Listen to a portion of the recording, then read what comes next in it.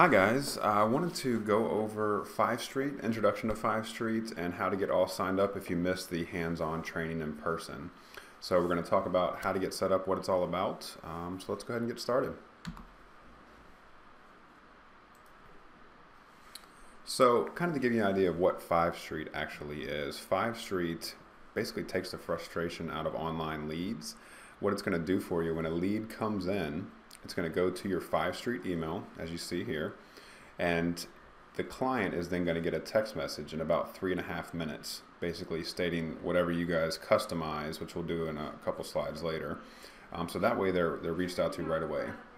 4.2 minutes, they're going to receive an email, and then you're going to want to take that lead and put it into your CRM, um, whether you use Zap or another one, but uh, Zap is a great source to be able to follow up with your clients and then you will get email and text notifications letting you know that that client is now yours and you've claimed that. So that's kind of how it works. It's very important with online leads that you get in touch with those leads very quickly so that they stop going and looking at another um, for another agent. So they've now received a text message from you, which is a very personal experience for most people, and um, they're hopefully going to respond to you, and you'll be able to start working with that client. Um, how are leads going to be handled? Basically, there's two different ways, two different types of leads that you might be receiving.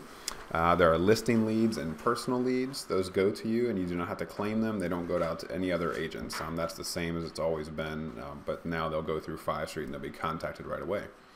Um, then there are company-generated leads. Basically, the first one to claim these leads um, gets that. And there is a conversion team that you can go to elitescoop.com slash online leads to sign up for that team and agree to it. Um, the 25% referral fee and a 50-50 split. Um, and you can basically, if you're on that team and you don't want you want to stop receiving those leads, then you can be removed from that. But it is an opt-in, so not everyone um, will receive the company generated leads until you go to elitescoop.com slash online leads and sign up. Um, there's two different ways to be able to claim leads. The first one is via text message. If you see over here to the left, um, that is what it's going to look like. It's going to come from the same number, and you'll get that number once you register from Five Street. And you click the little link down at the bottom. It kind of looks like a, um, it's like 7s.io slash us331. As soon as you click on that, it's going to take you to the picture right here in the middle. That's going to give you a green button to claim this lead. Uh, once you claim the lead, that lead then becomes yours. If it was one of the company generated ones and you're the one that received it, you will go to the third screen that says you have successfully claimed this lead. If somebody else claimed it before you, then it will say, unfortunately, another agent has gotten this lead. The you will then receive the email and the phone number, where as you can see in the previous ones, that email and phone number is blurred out. If it was on one of your own listing leads, that information would be displayed there for you. It wouldn't be hidden um, because you wouldn't actually have to claim it. Second way you can claim that lead is via email. And kind of the same thing, as soon as you're getting that text, you're also getting an email that allows you to claim the lead and then it becomes yours. I want to take you through the simple setup steps so that you know that your Fivestreet is all ready to go. So the first thing would be um, the welcome email. If you've never logged in before, you should have received a welcome email it will prompt you to log in and change your password right away. Within that email, there was a temporary password that was sent to you that you would need for that first time logging in. Some of you may have done that initially and still haven't um, gone back in and gone through the whole process. So you would have then, you might to might have to go in and change your password at that point, request password change. For logging into Fivestreet, you always go to fivestreet.com and you click login. Make sure you don't click sign up now because then you could possibly be creating another account um, and you want to make sure that you log in. Once you're logged in, uh, the first thing you want to do is in the top right, you want to click on account. And you just want to make sure in here that everything is correct, that your name is spelled correctly, you have the correct email, which should be um, your at coldwellbankerelite.com email and that your the phone number there is your cell phone, and you want to make sure your MLS is bright MLS with uh, your correct MLS number. Next, if you have a red bar at the top, red little ribbon banner going across the top that says confirm confirm your phone number, you need to do that. That's linking it up so that you will receive text messages to your phone. If you don't see that, that means that at some point you've already confirmed your phone number. Uh, so you go ahead and click confirm phone number. You'll then receive a text message and you want to go ahead and put your text message in to confirm your cell phone number spot and then hit continue. Next, you want to go uh, back up to account in the top right and you want to go to your notification settings. You want to make sure that these top four are all checked yes. Um, new lead notifications, yes, yes. Repeat lead notifications, yes, yes, even though it doesn't show it here on the screen. Um, broadcast notifications, yes, yes, and claim and unassigned notifications, yes, and yes. If later on you decide you feel you're getting too many notifications, um, you can go back and uncheck those so that you don't get those. But this way, in the beginning, you're going to be getting everything. And then you want to go in and put your start and end time for text message notifications when you want to re receive text messages. And you kind of want to just put in here what your work hours are. So if you work 8 a.m. to 8 p.m., go ahead and adjust that 12 a.m. Um, to 8 a.m. and 8 p.m. And the include weekends button is checked yes, which I would imagine most of you want to keep checked yes.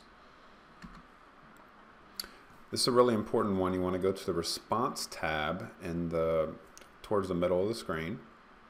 And you're going right now, if you've never done this before, it's going to show two buttons that say turn on, turn on. So you want to go in and turn both of these, um, both of these on. And you have the ability to customize these. And the way I want you to think of it is, especially with the text message or the email, if you've had a client where you're not able to reach out to them, what do you say to them? What is that text message? Um, I usually go to something like, I'm not in a place I can talk right now. When would be a good time for me to give you a call? Um, and for the text message one, you want to put your name, first and last name, and then Coldwell Banker Elite. Remember, this is the first, this is three minutes after they put that response in. So putting Coldwell Banker Elite there or Realtor at least explains to them, the client, that you are a realtor and you were talking about that particular property because it's not going to be specific to that property. It's going to, you know, say something like, thank you for your inquiry. It's not going to talk about that property address. Um, you might have a question about the phone number that you see right there. That is the phone number that they will, the client will receive the text from first. Uh, so you, you can change it and you can match it up to make sure that your area codes are the same. But you might just want to have that conversation with a client that says, hey, now this is my cell phone. You can you know, reach out to me through this cell phone number. If they call that number back directly or they um, text you back, it's going to go to you. And you can even have somebody test that number. If you call it, it just forwards directly to your cell phone. One thing you want to do when you're editing these messages, you want to make sure that you copy it uh, because sometimes, for whatever reason, Fivestreet doesn't save it on this initial save. So just copy it after you type it in, hit save, and make sure to go back in to see that it did it. You might have to do it a couple times to get it to save. Same thing for the email responder. Once you hit customize, I would highly recommend copying your actual email signature and putting it in here so that it looks the same. They're going to get an email. It's going to come from you. Moving forward, it's the same, and you have all your um, proper regulations in there. Do the same thing. Copy it before you save, just in case it doesn't save it. So this is really important. Once you have this set up, you don't really have to necessarily go back in to do that unless you just wanted to update it. Uh, now you want to go to the lead sources tab and um, you should see a screen that looks like this right here. And you'll see right in the middle, you have your um, 5street.me email address. This is the email address that you'll want to put on various sites um, so that everything points to your Fivestreet and that way that the clients are getting that initial text message. Um, I was recommended by a few people to not use the connect with Google Mail as it does create some errors and some leads not getting through. So I would just skip that part there and um, make sure that you have this email address right here. Now, what you want to do with that email, the main places that you typically get leads from, realtor.com, zillow.com, you want to change um, that email so that all those messages come through. So on realtor.com, that's taken care of for you. So any leads that you get on your listings from realtor.com are going to go straight through uh, the 5street.me email. But we're going to go through these steps here. And if you want, you can pause because it talks through, has each step written down here for you. But I'll kind of walk through it real quickly. You want to go to Zillow.com. You want to log into your agent account and make sure that it's not your consumer account. You'll be able to tell that by seeing that they have the agent hub in the top right hand corner. You're then going to want to click account which will bring you to like what you see here in the picture. And I want you to take note of the email that's already in there. So either write it down um, or copy it. Make sure that you have that because you're going to need to put that back in in just a few minutes. So you're going to click um, right beside email, there's a button called edit email. You're going to click on that and you're going to go back into Fivestreet, copy and paste that at 5street.me email and put it in here. This is now going to be your new username for Zillow. So you want to write that down wherever you keep your passwords and usernames. Um, but your password will stay the same. So your new Zillow login will be this.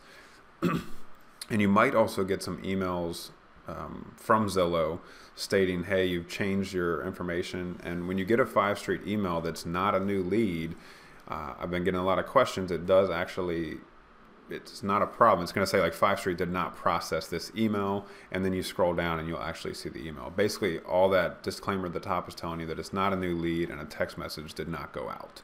So that's kind of where you're at, you know, with that. So once you have confirmed that, you want to go back in, hit manage email addresses, and you're now going to copy and paste back in that email that you originally had. Um, and what's most important under this additional email addresses is that your whatever email you have linked with MRIS is one of those emails because that's what keeps your listings matched up with you. So that's a very important step. Next, we're going to update Zap. So you're going to log into cbexchange.com. You're going to click on the circle in the top right, uh, which is the springboard, and you're going to click on Zap. And then you might have to, depending on if you haven't done it in a while, you might have to put the same login back in for Zap. Once you get logged into Zap, you're going to click on your name in the top right hand corner. You're going to click on lead and notification settings and you're going to simply change your email address here to your new at 5street.me email. Scroll down to the bottom and make sure that you save. And that's it for Zap, so it's much easier than Zillow. If you do have a Placester account, um, you're going to log into your Placester account. Over to the left-hand side, you're going to click on Edit Site. And then you're going to click on Lead Capture and scroll all the way down to the bottom. And you're going to then just simply add in your at 5street.me email address. And anywhere else that you might receive leads, uh, whether that's top producer or boomtown or anything that you're paying for leads, you're going to want to go into those sites and change your notification to at 5street.me so that you know that all of your whole pipeline, your funnel of clients coming through are going through that 5street.me and they're getting that immediate text. If you have your own website, you want to go into that website and make sure that your notification email is switched over to your 5street.me so that so they're being funneled through that also. Um, there are different products that you can integrate with um, that work. If you go to back up to the top right account, you'll see um, the integration button there. And you can go in, if you have top producer, you hit configure and it's going to have you log into top producer. Um, there's other different ones here. MailChimp is something that's popular with newsletters. You can configure that. These are just a few other things that you can configure with Fivestreet basically that's the the rundown of Fivestreet. It's pretty cool in the sense that once you've done all this, you don't really have to necessarily go back in. Um, your leads are all in there. So if you forgot a lead or if you got to forgot to add it to your CRM, you can go in there and get their phone number and email from there. But you don't want to really use this as your CRM because um, that's not what it's meant to be. But I have on several occasions um, talked with the support for Fivestreet, got a live person on the phone very quickly, and they're very helpful. So you want to put this phone number 1 800 830 8300 uh, into your um, contacts or support at realtor.com. Fivestreet is owned by realtor.com, is why you see that. And they can help you out, especially if you're trying to get like your own site or some other um, place where you get leads set up. Um, they can help you through that process. But thank you guys for your time. If you have any questions, let me know. And um, we'll talk later. Thanks. Bye.